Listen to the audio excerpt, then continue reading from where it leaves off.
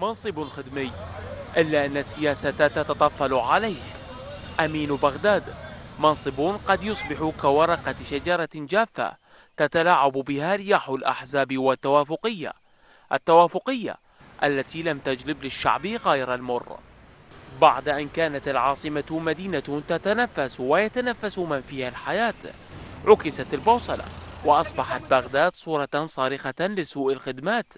أمر جعل من أمينتها ذكرى علوش تحت مقصة الاستبعاد والبديل يجهز على نار هادئة ولعل كتلة نواب بغداد النيابية التي تشكلت حديثا قد تحسم الأمر دون نزاعات تذكر. نواب بغداد من جميع الكتل السياسية إجماعهم اليوم اتفقوا على تشكيل كتلة آه، بغداد من نواب بغداد هذه الكتلة سيكون لها رئيس ونائب ومقرر. هدفها خدمي توجهها خدمي. يبقى كل عضو على ارتباط السياسي لكن يعملون من أجل آه، التشريعات والقوانين التي تخص هذه المحافظة اللي هي محافظة بغداد الحبيبة. وأيضا متابعة ملفات الخدمات للبغداديين.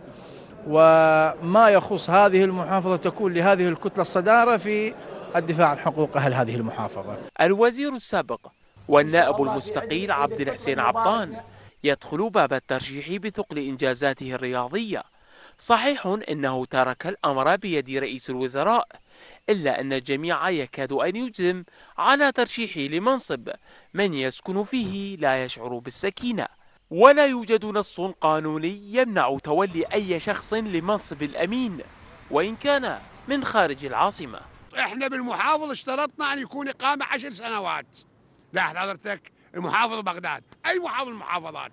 يجب أن يكون عنده إقامة مو سكن. هناك فرق بين الإقامة وبين السكن. أكو سكن أجي للدراسة سكن أنا من أهل النجف أجي؟ وزير. سكن أنا من أهل الديوانية أجي نائب. شي يسموه سكنة بغداد. أنت ما قمت. اللي يقيم شنو؟ اللي قطع سكنه في مناطق أخرى. هذا القانون اللي ما صدر ما لنا هذه الأمور؟ ما اشترط مثل في الأمين أن يكون ولادته في بغداد. اذا المناصب الخدمية في العاصمة تحت نار السياسة. فأزمة المحافظ التي ما زالت قائمة إلى الآن قد تتبعها أزمة أخرى. وهي الصراع على منصب أمين بغداد. فالمنصب لا يتعدى كسرة يابسة من رغيف الأحزاب الطري. وإن الخدمات التي تكاد تنعدم لا تتحمل التجربة التي تخطئ وتصيب.